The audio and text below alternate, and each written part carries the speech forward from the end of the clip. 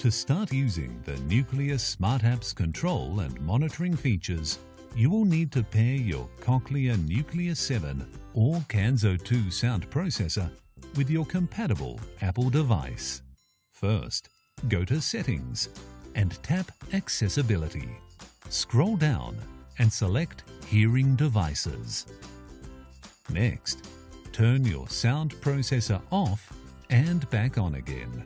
Your Apple device will then search for your sound processor and display it here in the Devices section.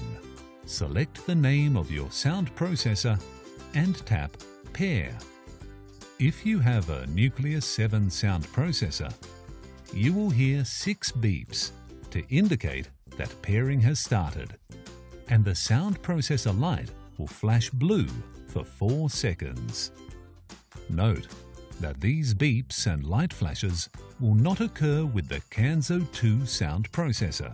For both Kanso 2 and Nucleus 7 sound processors, the pairing will be finished when you hear a ripple tone and the sound processor light flashes blue for another 4 seconds.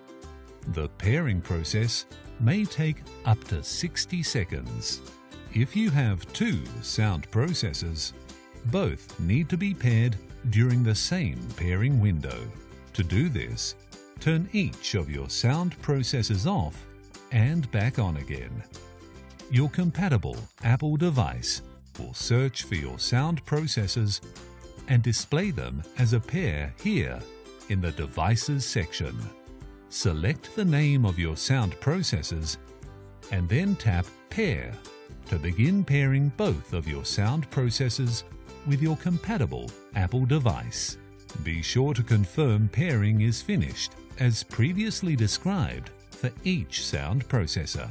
If you see your sound processors listed as two separate devices in the Devices section, see your clinician to have them configured as a pair.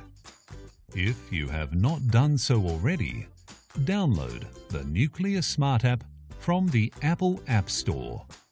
Once downloaded, open the app and log in using your Cochlear account details.